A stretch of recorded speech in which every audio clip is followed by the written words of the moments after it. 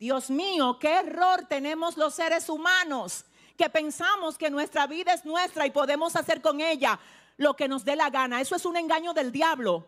Nosotros no tenemos vida propia, nosotros tenemos un préstamo de vida.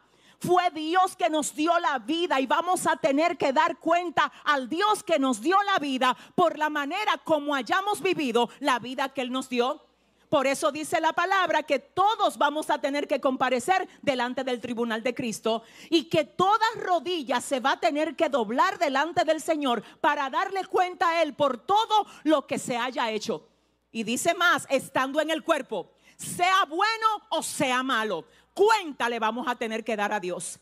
Pero hay gente que quiere vivir un sistema de vida independiente de su creador porque quieren hacer las cosas a su manera y no a la manera como Dios las estableció. Viene sanción para los rebeldes.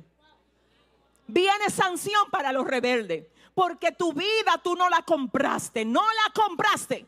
Pero ahora desde que te enferma tú serías capaz de pagar lo que sea para sanarte.